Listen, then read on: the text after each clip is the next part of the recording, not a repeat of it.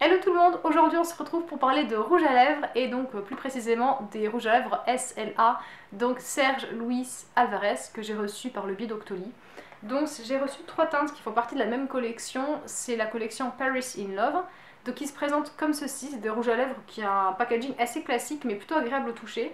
C'est un peu, euh, c'est un petit peu doux en fait, donc je pense que c'est du plastique qui a été... Euh, euh, traité, je sais pas, poli, quelque chose. Ça fait penser un petit peu au packaging NARS, vous voyez le côté un peu gomme, mais sans le côté salissant parce que ça trappe pas toutes les salissures du, rouge, du sac à main, donc ça c'est plutôt pratique. J'ai déjà swatché juste ici pour vous montrer les, couleurs. Donc j'ai reçu trois teintes, il y a cette teinte-ci qui est la teinte la plus claire qui est euh, rouge cabaret.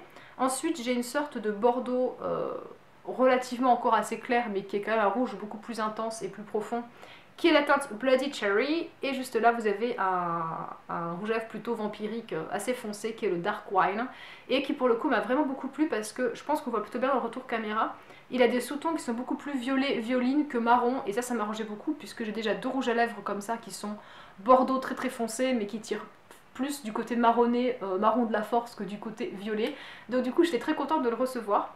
Donc c'est des rouges à lèvres qui sont vraiment pigmentés, euh, ça ça m'a étonné. En fait ce qui m'a surtout étonné c'est l'application, quand je les ai mis ils sont hyper crémeux, mais un truc de dingue quoi. Parce que quand, comme en fait ils sont, je vais y arriver, comme ils sont vendus comme des rouges à lèvres mat, euh, je m'attendais du coup forcément quand, quand vous l'appliquez à ce qui est une certaine résistance, à ce qui est euh, une sorte d'accroche sur les lèvres, qui est une sorte de frein. Et, en fait pas du tout, ça glisse tout seul, c'est hyper crémeux, hyper confortable hyper euh, smooth, euh, enfin comme une sorte de baume à lèvres quelque part, donc ça m'a vraiment étonné à ce niveau-là. Tout à fait comme un rouge à lèvres euh, crémeux en fait, je pense notamment au Dior. J'en ai un comme ça de la collection classique, il me semble, je vous mettrai la référence exacte parce que je l'ai plus en tête. Hein. Mais vraiment, ça, ça glisse tout seul quoi, donc j'étais étonnée. Je m'attendais, vu justement ce type de texture, à ce que la couleur soit pas forcément très pigmentée, alors qu'en fait là, en un passage, vous avez des couleurs qui sont là. Donc si c'est vachement pigmenté, donc du coup j'étais super contente, je me suis dit bah c'est cool, ça me fait un rouge lèvres mat qui me dessèche pas les lèvres et qui du coup a priori est confortable. Je me suis dit qu'il allait sécher, pendant ce temps-là j'ai regardé la composition du coup euh, sur leur site. Donc il y a de l'huile de jojoba, de la vitamine E, du talc, euh, j'ai noté quelques trucs parce que je connais pas tout par cœur pour tout vous dire. De la cire végétale euh, et des, antioxydants. Donc je voulais également vous préciser qu'il n'y avait pas de parabènes, pas de PEG, pas de phénoxyéthanol et qu'il n'est pas testé sur les animaux. Donc du coup j'étais ravie, là vous voyez. Et puis je vais voir, je vais dans ma glace pour regarder et je me rends compte que le rouge n'a pas du tout séché. Euh, donc je me suis dit tiens c'est bizarre et tout, ça fait quand même bien 10 minutes que je l'avais sur les lèvres quoi. Et euh, j'ai continué à attendre et tout et tout, puis au final je me rends compte que le rouge à lèvres ne sèche pas. Alors là je me suis dit c'est un petit peu un problème quand même parce que quand on achète un rouge à lèvres qui est vendu pour être mat euh, et que le truc n'est pas mat, on se dit qu'on s'est trompé de produit, qu'il y a un truc qui va pas. Euh, donc du coup comme moi je devais sortir après, je me suis dit que j'allais l'estomper pour, euh, pour pas qu'il bouge quoi et faire mes trucs. Et c'est là que du coup bah forcément ça a fonctionné, c'est-à-dire que quand vous estompez votre rouge à lèvres, vous avez pu remarquer que vous enlevez toujours cette petite partie un peu brillante, un peu glossy et qu'il vous reste presque que le pigment entre guillemets sur les lèvres. Donc j'ai estompé une première fois et ça m'a permis d'obtenir un rendu satiné. Donc je me suis dit c'est bien mais moi je veux un truc mat, donc j'ai restompé une deuxième fois et là j'ai obtenu quelque chose de mat. J'ai fait ma vie. Euh, du coup quand je suis rentrée chez moi je me suis dit bon euh, au final, est-ce que c'est un défaut, est-ce que c'est une qualité? Après réflexion, je me dis que finalement, ce défaut, au premier abord, est peut-être une qualité, parce qu'au bout du compte, ça vous permet, avec un seul rouge à lèvres, d'obtenir trois types de rendus. Même si je suis complètement d'accord que quand vous achetez un rouge à lèvres qui est supposé être mat et que vous obtenez pas le rendu que vous souhaitez, voilà, c'est quand même un petit peu discutable. Donc ça, c'est ce qui m'a dérangé, mais au final, quand vous l'estompez deux fois, ce que moi, de toute façon, je fais toujours pour sortir, parce que euh, c'est ce qu'on fait pour qu'un lèvres tienne bien, en fait. Et après, il suffit de pas en rappliquer derrière, vous avez vraiment un beau rendu. Les couleurs surtout sont magnifiques.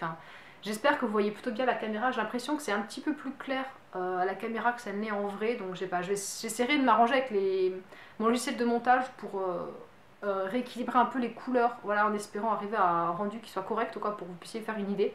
Mais les couleurs sont vraiment super belles. Hein. Du coup, l'avantage c'est qu'il est extrêmement confortable à porter puisqu'il n'est pas du coup desséchant comme un rouge à lèvres mat. Donc ça c'est plutôt cool. Par contre, il va également avoir les défauts des rouges à lèvres crémeux, c'est-à-dire quand vous mangez l'intérieur des lèvres qui a tendance forcément à partir. Euh, quand vous parlez aussi, au bout d'un moment dans la journée, vous aurez forcément besoin de faire des retouches, puisqu'on a tendance toujours à parler, à humecter l'intérieur des lèvres, donc là c'est pareil, ça va partir. Et également, je vous conseillerais d'utiliser un contour des lèvres en fait pour avoir quelque chose de bien défini parce que ça peut euh, éventuellement un peu bouger. Donc moi, j'ai pas eu ce problème-là puisque euh, je m'étais déjà armée dès le début. Mais voilà, je préfère quand même vous prévenir. Euh, je crois que c'est à peu près tout ce que j'ai à vous dire. Si le prix éventuellement ça pourrait être bien, donc il est commercialisé à 18,90€ et c'est de rouge à lèvres d'une contenance de 3,5 grammes. Voilà.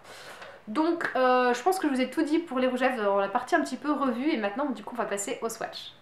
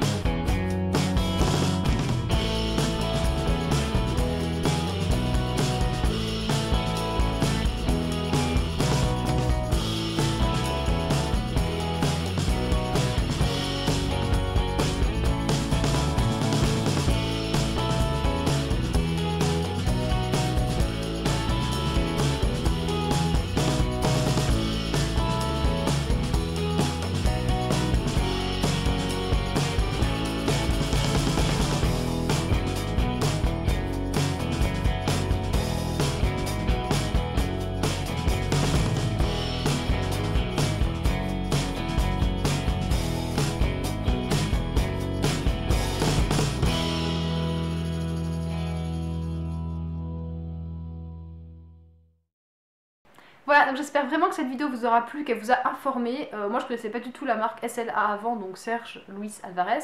Donc je m'étais dit, est-ce que vous, vous la connaissez? Est-ce que vous avez déjà eu l'occasion de tester de leurs produits? C'est une marque de cosmétiques qui vendent de tout, hein, donc du fond de teint, euh, du fard à paupières et tout ça. Donc si jamais vous connaissez et que vous avez déjà testé, n'hésitez pas à me le dire du coup en commentaire que je puisse un petit peu avoir euh, votre avis sur cette marque.